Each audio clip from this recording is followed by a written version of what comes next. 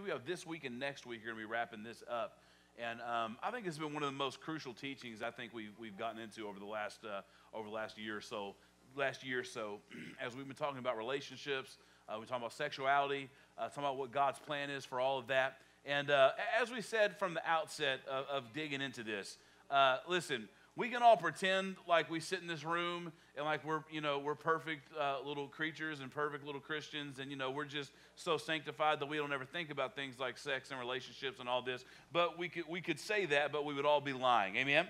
It is a huge part of all of our lives uh, who we choose to spend our lives with, how we choose to express those God created uh, sexual and romantic and love feelings and, and play those, uh, see those expressions played out uh, with God's best intention in mind through a, through a loving marriage between husband and wife. How we do that literally creates the framework for such a huge thing of all of our lives, and yet so often in church is something that we don't talk about. And it's amazing that we don't talk about it because the Bible actually has a lot to say about it. Amen? And so we've been talking about that. And, and last week we talked about we talked about a lot about sex specifically and God's design and God's creation in sex. And, and we ended with this thought that I just want to remind us again today. And we, and we thought about this last week. We talked about the fact that what I choose to keep in the dark, I'm empowering when I refuse to expose it to the light.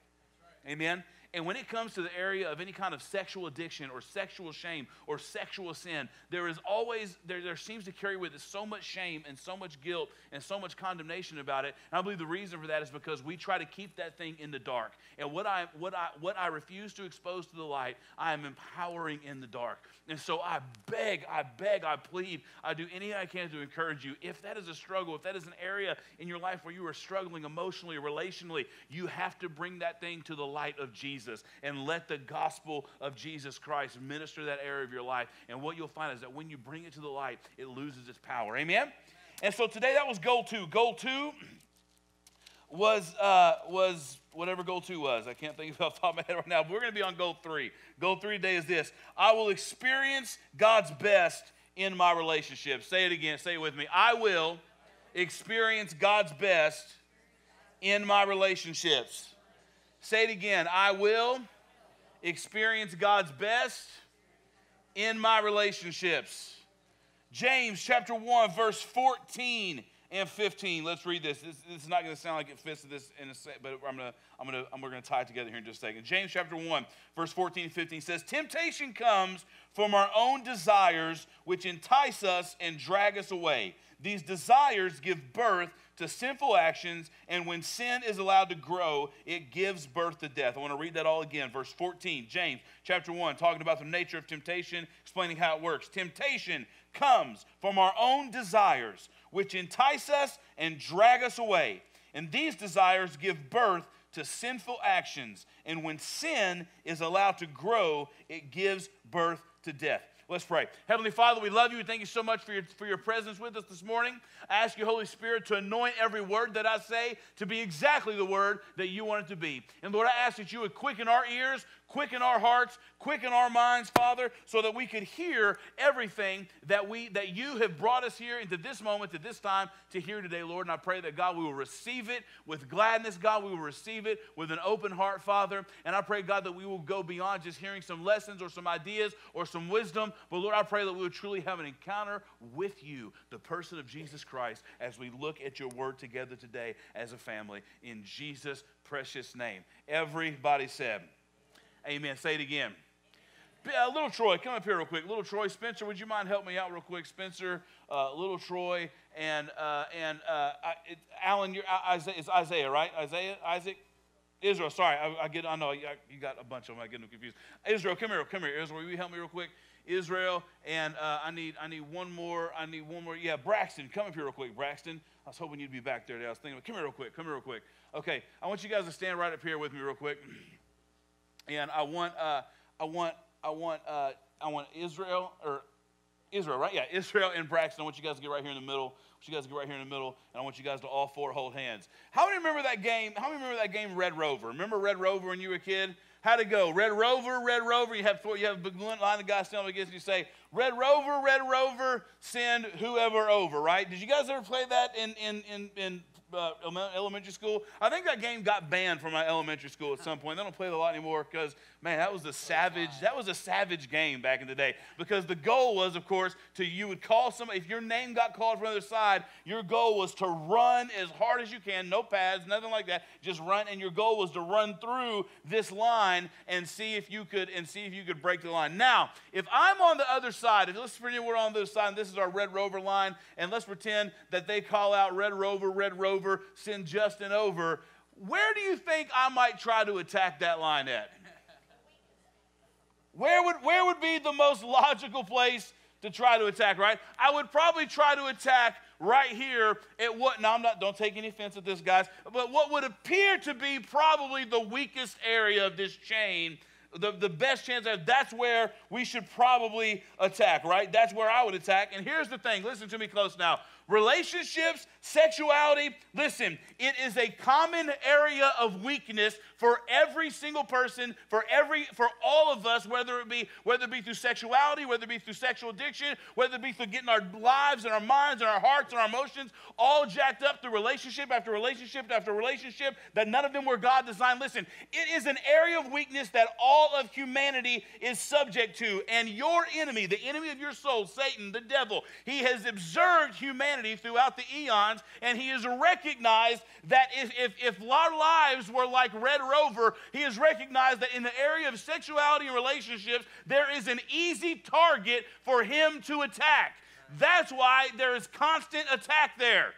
Amen? You say, well, I don't know if that's true. Listen, you can, from King David all the way to Bill Clinton, and you can insert any other famous name of any other famous scandal you know about, we can see that, guys, this is an area that the enemy is constantly sending attack to because it's a weak area. It's an area that we discover and find weakness in. Okay, and you guys can sit down, but I'm going to call you guys back up here in just a minute, so don't, don't go too far. Now, listen, here's the thing. Here's what I want you to understand.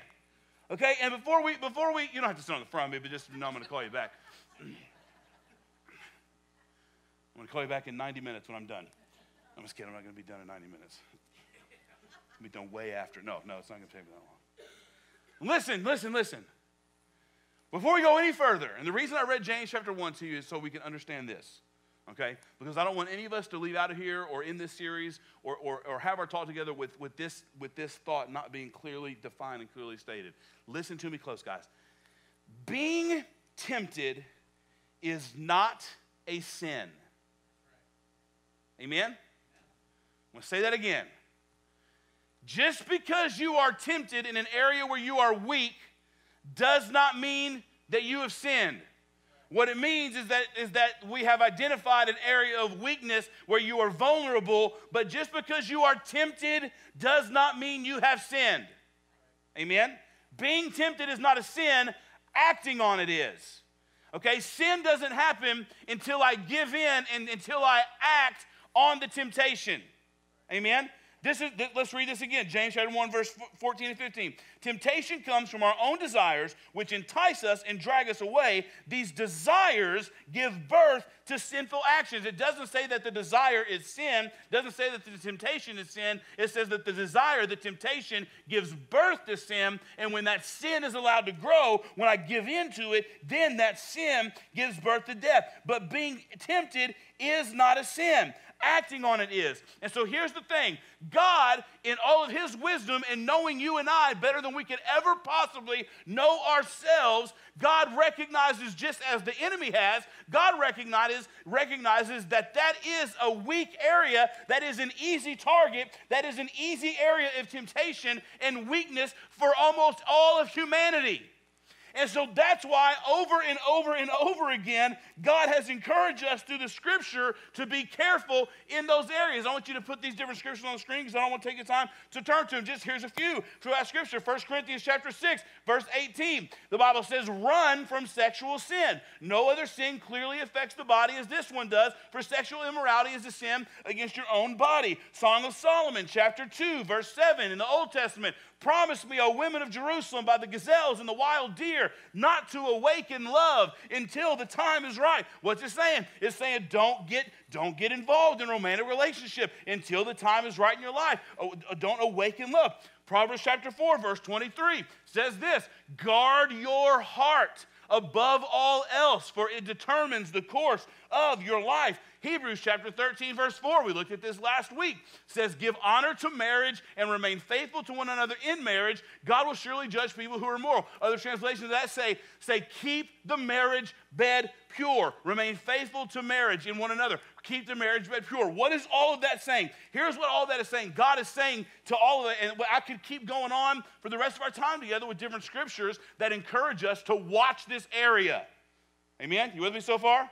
What is the purpose of that? Why is God encourages that? Why? Because he's saying, listen, this is an area where everybody is, has a vulnerability and everybody is weakened. So, what you need to do, listen to me close now, if you want to experience, God is saying, if you want to experience my best, my best design, my best plan for the areas of sexuality and relationships and marriage for your life, then this is an area that you need to guard up, that you need to be careful, and that you need to set some boundaries in. Amen? You need to have some boundaries established in your life when it comes to romance, when it comes to love, when it comes to sexuality, when it comes to relationships. Okay? Now, again, what is our goal? Our goal is to experience God's best in the area of my relationships and sexuality. That's what I want. I want to see God's best. As a follower of Jesus, that should be my goal in every area of my life. I want to experience God's best. Amen? Now, listen, see, you hear the word boundaries and you think, well, you're just trying to tell us what to do and what not to do. Listen, I, am not, this, this is not, this, you're hearing this wrong. Okay, this is not a, any way, shape, or form about me telling you, hey, you have to do this, or you can't do this, or you can do this, and giving you a list of do's and don'ts. What this is, though, is saying, listen, if I want to experience God's best, I've got to recognize that there are some boundaries that I'm going to need established in order to experience that. Amen. You can do, you're free to choose and do whatever the heck you want to do. You want, you want to push the envelope and live however you want to live? I'm not here to tell you you can't live that way or can't do that. I'm just here to tell you what the Word of God has said. If I want to experience His best, there are some boundaries, there are some parameters that I'm going to need to invoke in my life. Amen? And we, we know this is wisdom in every other area of our life. You know, listen, you cannot live a healthy lifestyle and eat cherry thingalings all year long. That's why they only sell them one time a year. Because if they sold them all year long, I'd be out there at six in the morning every day to get some. Okay? I know that I can't do that. I know I can't eat like that all the time.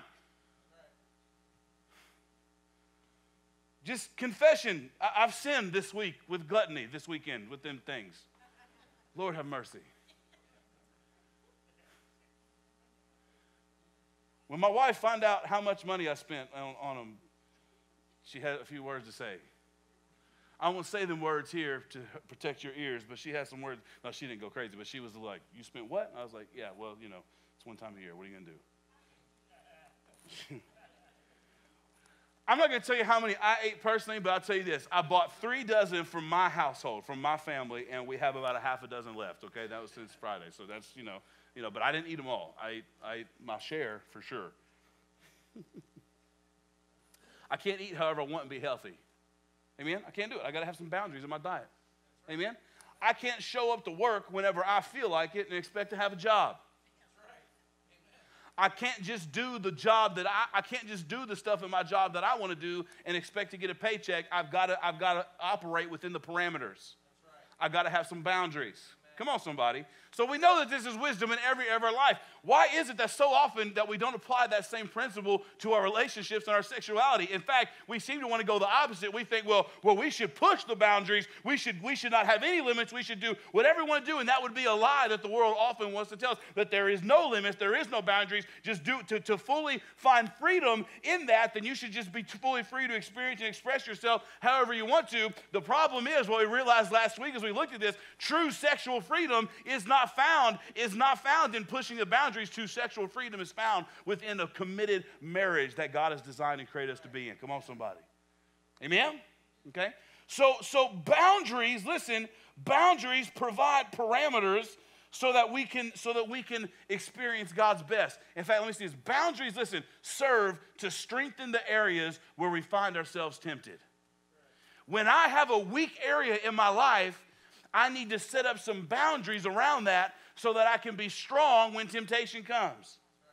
And boundaries serve to do that. Amen? And so, in our relationships, in our sexuality, in that part of our lives, listen, we have got to allow the Holy Spirit to speak to us about some boundaries. And so I want to talk just about a few boundaries that I think will really benefit all of us if our goal is to experience God's best design for our life. If my relationship, see, I know you hear relationship goals, and again, because of, because if you, if you ever see this hashtag on Instagram, hashtag on Instagram or Twitter or social media or whatever else you, we think relationship goals, and we think, we think, well, I want somebody that looks this way or that treats me this way or that does this or does that, or, you know, my relationship goal is to, is to walk down the beach at sunset holding hands with the person I love. And there's nothing wrong with any of those goals. But what I'm saying is God might have some even greater goals for us to really be looking at. Amen? So that we can experience those momentary earthly goals that we are putting so much doing it. That is not the case. Everybody's not cheating on their wife. Everybody's not involved in all kinds of other relationships outside of their marriage. Everybody's not addicted to pornography. Everybody's not doing this and everybody's not doing that. Everybody is not doing it just because it looks like it because the tv shows you watch doesn't make it true. Don't buy the lie friend. Don't buy the lie. Amen Turn neighbor say, don't buy the lie. Married people, don't buy the lie that just because you got married, now your best sex is over. That's a lie. That's a lie. And we can make jokes. You can hear people crack jokes about it, and comics talk about it, and whatever. Listen to me. That is a lie from the pit of hell. Amen? Single people, don't buy the lie that you have to give yourself up. You have to, that you have to give in to temptation, that you have to do this and you have to do that. And that's just the way. Don't buy that lie. That doesn't have to be, it's not true. It's just simply not true. Amen? Third boundary, the third, the third boundary help us experience God's best is this. I have got to have accountability and honesty in the areas of my desire and my temptations. Amen? I've got to have accountability and I've got to have honesty in the areas of where I'm tempted, tempted, in the areas of my desire. Okay? Again, when I refuse to expose the light to the light, I am power in the dark. I can't say that enough. What I refuse to expose to the light, I am power in the dark.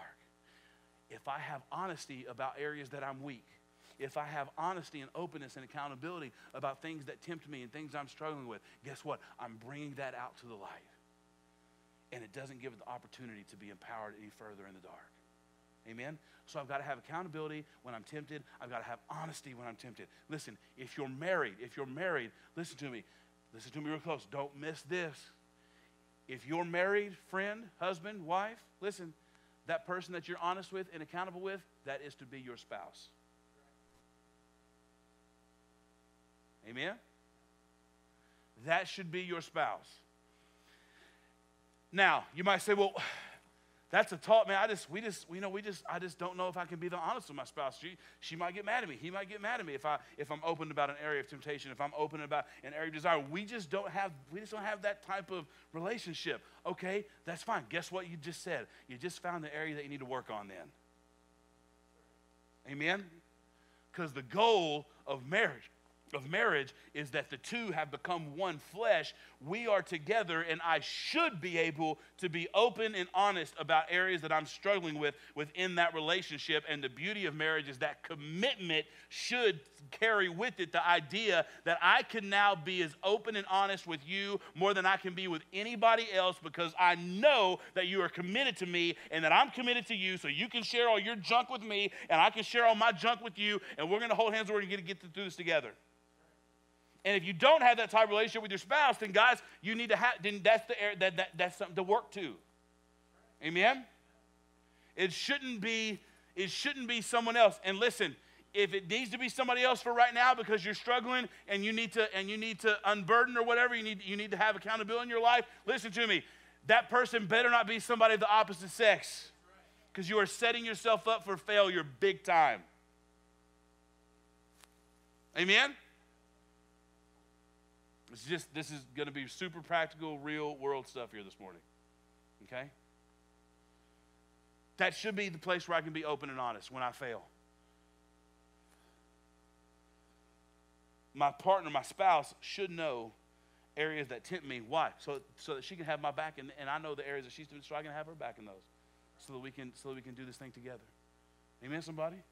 Now, if you're single, if you're not married, who should that person be? It should probably be a trusted, it, really, it should be your parent. It should be a parent. That would be the ideal situation, a parent that you can say, hey, mom, dad, uh, I, this is an area I'm struggling with. I need you to pray with me. I need you to help me. I, sometimes it's not that you need help. Some, listen to me. Again, what I refuse to expose to the light, I empower in the dark. You don't understand sometimes the freedom that comes from just owning some stuff that you're struggling with and getting it out there, gets it out of your head, out of your soul, puts it on the altar, puts it in somebody else's ears, and it's not on you for a while. It's amazing the kind of freedom that can come from that. Okay? But, but that should be a parent. That should be a parent. Now you may say, I understand that we live in a broken world and in a broken system, that sometimes things don't work the way that maybe they should. So if that parent is not available to you, or if you don't feel like you have that kind of relationship with a parent that you can be open and honest with like that, I understand that might be the case. Then listen, you need to find you, you need to have an accountability partner, someone that is probably a little older than you, a little wiser than you. It shouldn't be your best friend who's just struggling with all the same stuff you are, and you're just feeding all the, you're just feeding off each other. That's going to be unhealthy real quick. Come on, somebody. So, so, so a youth leader, a youth pastor, a pastor, an elder, somebody in the church, ideally, preferably, that, that you can begin to have a, a, a close. And listen, listen, again, single, guess what? This needs to be somebody of the same sex. Amen? Because, because again, it's an area of weakness, it's an area of vulnerability. And I, I almost, I almost would guarantee you, and I, I haven't experienced this in my life, but I, but, but I have I've listened to other people's stories and other people's testimonies and heard them say, but listen, almost nobody just wakes up one day and says, you know what? I'm going to have an affair.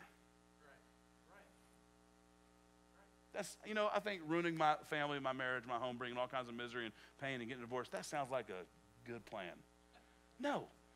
It happened over time because there weren't boundaries in place. And when boundaries came against you, you decided, well, I'm okay. I can push through it. And, and, and, and, and then you end up in a, you end up in a mess. Okay?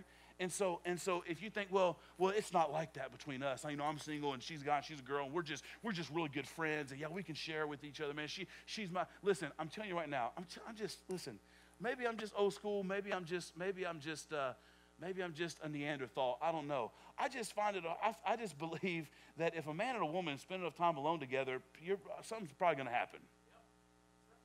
May not tomorrow, maybe not next week, but I'm telling you right now, if a man and a woman spend enough time together and they begin to share their feelings and emotions with one another, guess what? You are setting yourself up for something stupid to happen along the way. Amen? Why? It's a weak area. We're all weak in that area, and the enemy knows it.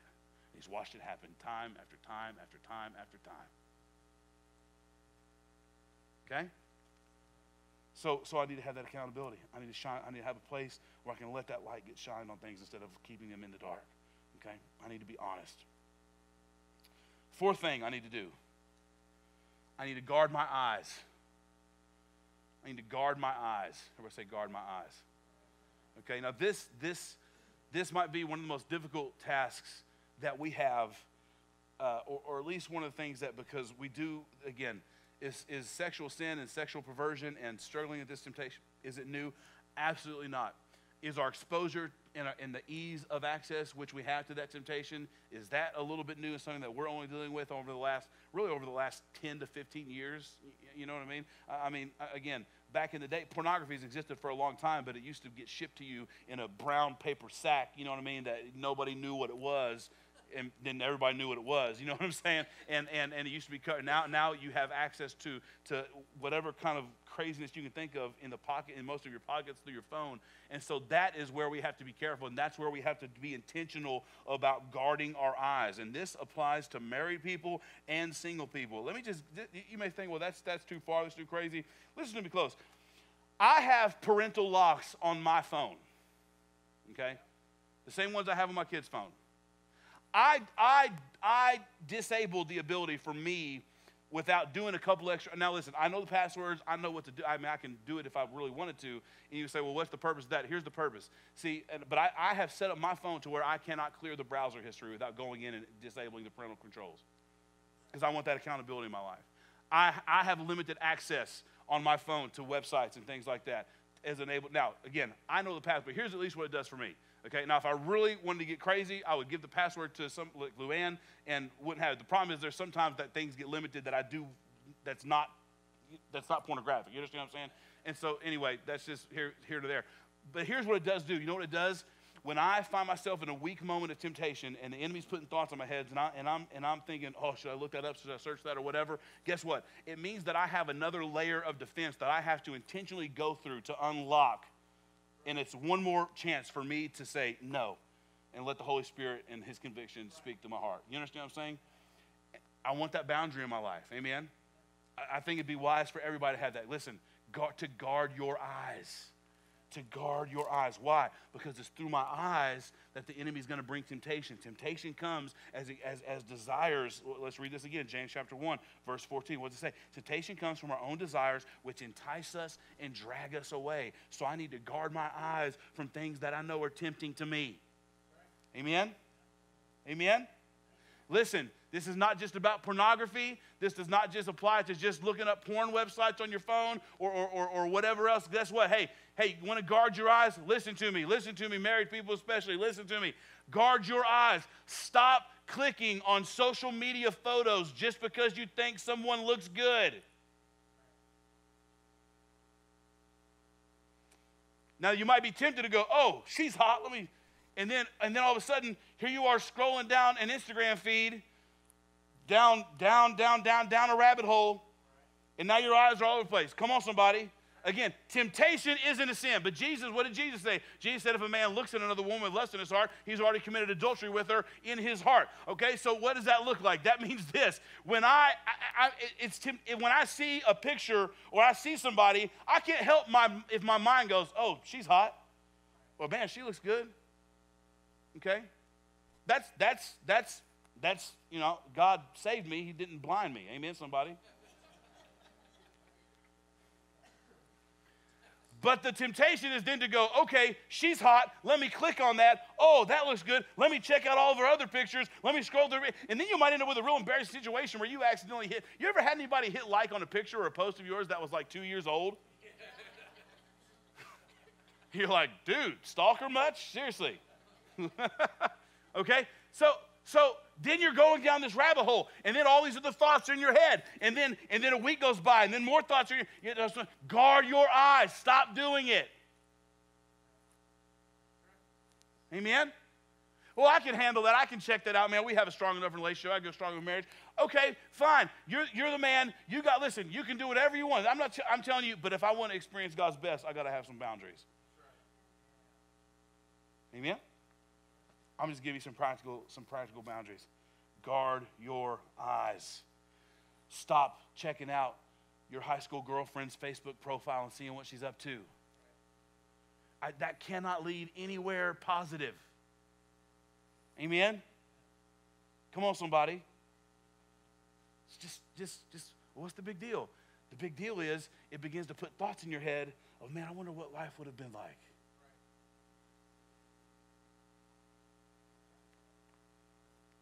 Am I saying just because you have that thought or you have that daydream, that means you're going to go out and have an affair? No, I'm not saying that. What I am saying is that you are, that you are willingly putting yourself in a position of vulnerability. Why do it? Why do it? If I want God's best, I can't. Amen? Amen, somebody? Now, listen, here I am. Listen, you know why I know all these boundaries? Because I've jacked all these boundaries up before in my life. Probably every one of them. I don't know. Let me go through the list. I'm not, I mean, I'm sure I've blown all these at some point. Okay, so I'm not sitting here saying these are this is what I'm doing to make sense. No, I'm telling you these are some boundaries I've realized in my life have, that I need in my life that are really helpful. Amen.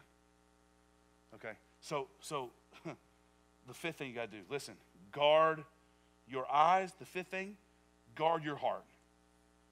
Guard your heart. What does that mean? Guard your heart. Just what the Bible said.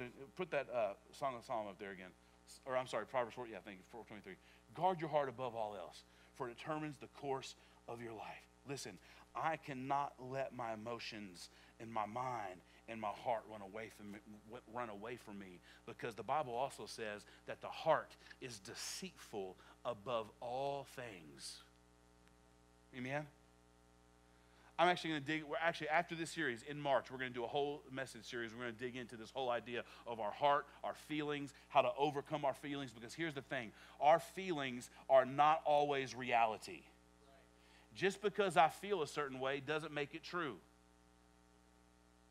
Amen, somebody?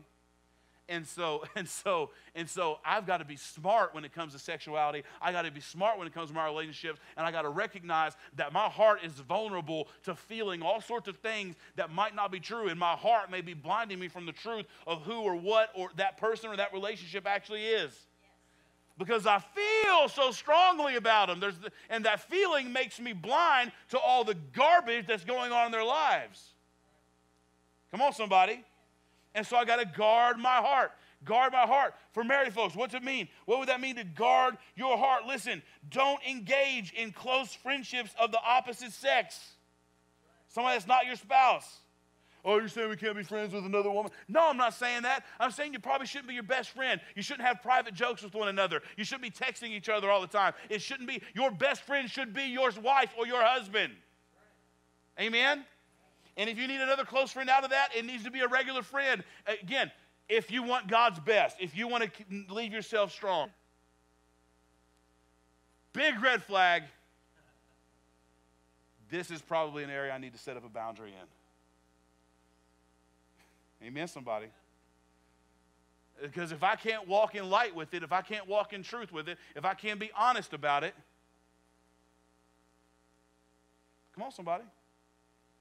Well, I just can't be honest because, you know, my husband's a super jealous guy my wife's super jealous. She'll freak out. She won't understand. Blah, blah, blah, blah, blah, blah. Okay, all of those things may be true and you may be completely right and she may, or he may be way out of line. But here's the thing I made a vow to figure out how to love that person. And so if love to that person means that I need to limit my exposure to other people, if that speaks love to them, that's what I need to do.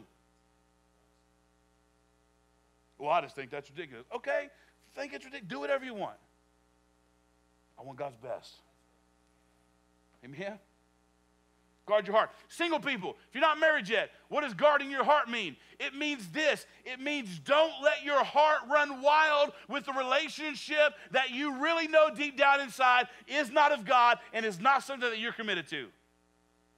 Or are you saying I can't date? No, I'm not saying you can't date, but I'm saying maybe you shouldn't, maybe you shouldn't, maybe that person shouldn't be your everything for a year or so. Keep it, keep it friendly. I, I, don't, I use the word casual, not in a casual sexual way, but keep it casual. Amen? Until you know you're ready, until you know they are ready, until you sense, hey, God might be doing something here. Hey, this might be, this might be, this, this might be something that God has for my life. Okay, then, then we can explore that openly and with people that you trust, and you can talk about those feelings with your parents and your, and your leaders and other people. But listen, don't just go get sucked in.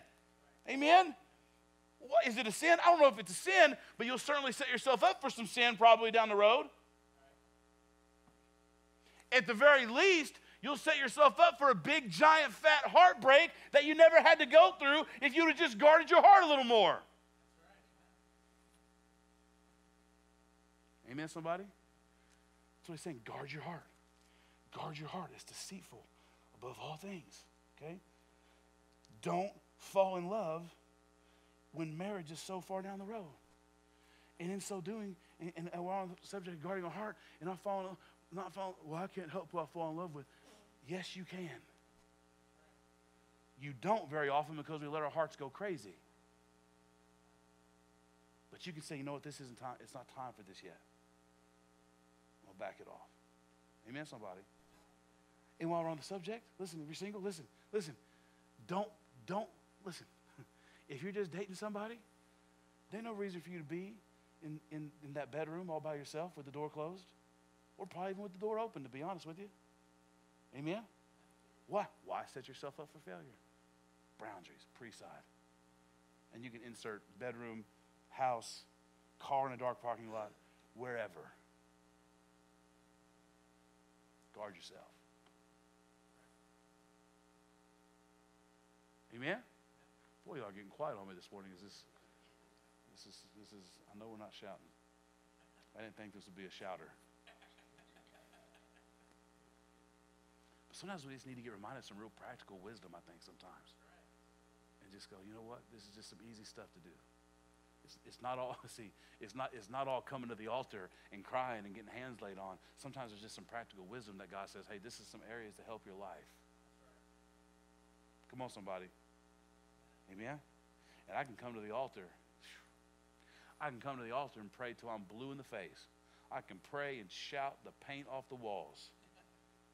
But if I go home and don't live with any discipline or any boundaries, I'll just keep coming to the altar praying and crying over the same thing over and over and over again. Sixth thing. I'm not going to tell you how many I have. I know you're all thinking it right now. How many more of these are there? Why would you do that? Just for fun. This is the last one. And it goes along with guard your heart, guard your eyes, but I feel like it's appropriate for 2019. Guard your thumbs. What are you talking about? Guard your thumbs. Guard your thumbs. Amen? Listen. We live in a we live in a the world we live in today. Marriages are being ruined through through conversations that are happening completely digitally. Relationships and families are being destroyed without any physical interaction ever taking place between people. Okay, that's the world we live in. So I better. I, so as the world evolves and things are happening around me, I need to recognize. Guess what? I might need to find some new boundaries. I might need to find some new boundaries for my life, and, and one of those probably guard your thumbs. Guard your thumbs. This goes back to guard your eyes. Listen, don't don't don't press on that. Don't hit like. Don't make that comment. Don't send that text. Don't send that picture.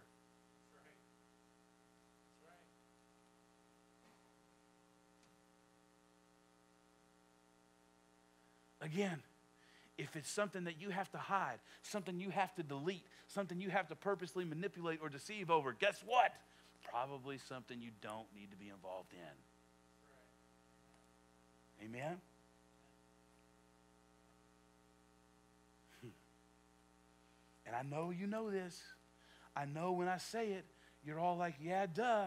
But when our heart gets involved and our emotions get involved and we and, and all of the logical things that we know go out the window, but listen, listen. When you send that text, when you send that pic, it's out there forever.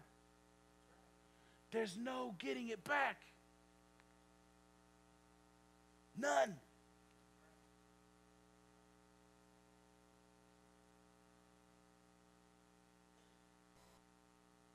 I, I mean, you would think people are smart. I mean, you can't. Every every month, there's a new celebrity nude pic leak because somebody sent a pic to someone that they trusted. They thought, oh, they would never do anything with that. Guess what? they did stuff with it, and you can't do nothing about it.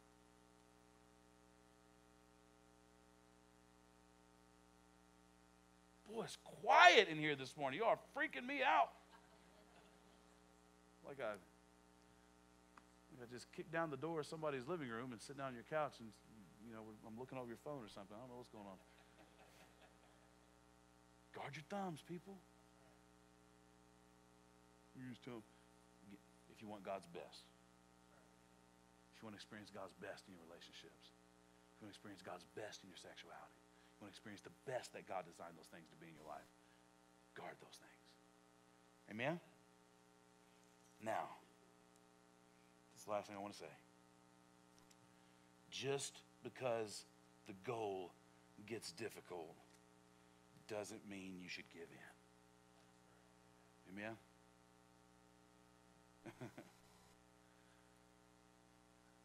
Again, you know, why I can sit down and, and list. We could we could go on and on talking about other boundaries probably, but I think these are pretty good, all encompassing. You know why these are easy to talk about and easy to come up with? For me, it's because it's all things that I've been tempted in, in all areas that I know that I need that I that I have had to put boundaries in my life. Amen. And listen, listen even with all the boundaries in place, even with all of the things that you can do, even with all of the pre-decisions and all of the everything you can do, guess what? You'll still find this as an area that you will be tempted in. which is why I need to establish boundaries there, even all the more so, knowing that it's an area of weakness.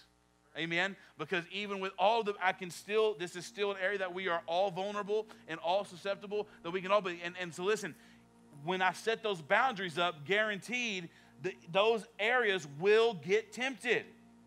Those areas will get pressed against.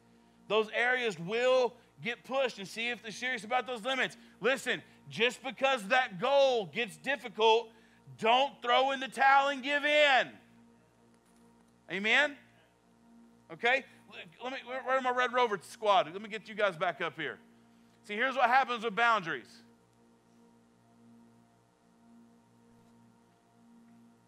Sit up, stand up like you were when I first set you up here. When I use wisdom and allow the Lord to talk to me and I surrender my conviction a little bit and I let the Lord convict my heart, and hey, and when I stop being so worried about what I have a right to and what I don't have a right to, because that's really what so much of this boils down to. The kickback on this is, well, I have a right to express myself. Okay, you have a right to. And then you also will have a right to have your life all jacked up and to, be, and to go through therapy and wonder why you can't find anybody. I'm not, you laugh, it's not a joke. Wonder why your relationship is a wreck. And wonder why sex is boring and you don't like it anymore. Why? Because you didn't have because you wanted to do what you wanted to do. Do what you want to do. I'm saying I want to find God's best. Okay? Now, these boundaries, listen, they're not going to get rid of the weak areas, but what we at least are going to do by setting up some boundaries, we will reposition these and I hold hands. We will reposition these areas, right? So that now, go ahead and hold hands with him like you're playing Red Rover. All right? I don't know he's a big scary guy. I don't want to hold his hand either. now I've at least positioned some places in my life where when the enemy does come in, I've now set up something next to it that I can, that I can have, have, a, have a fighting chance. Amen? And then when I surrender all these things to God and the Holy Spirit gets involved and God's presence gets involved, He'll show up in those areas where I'm weak. What did Paul say? When I'm weak, He is strong. Amen? This is what doing boundaries is going to reposition so I don't have a big glaring weakness where the enemy can just come in and destroy my life and destroy my relationship and destroy my marriage and make me such a broken person that, that, that it takes me years and years of counseling and therapy to ever feel like anybody else could ever love me or ever, anybody else has ever worked. Listen, these are all the, the feelings of shame and guilt that when I get this area of my life wrong, that the enemy brings into my life. And so we're going to, we're going to shore those areas up with some boundaries so that I can experience God's best. Amen? You guys sit down. Thank you. Will you stand me all over this room this morning?